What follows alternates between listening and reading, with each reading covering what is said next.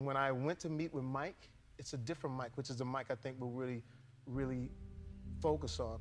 I went to his house, different, modest, no lions, no tigers in cages. Just...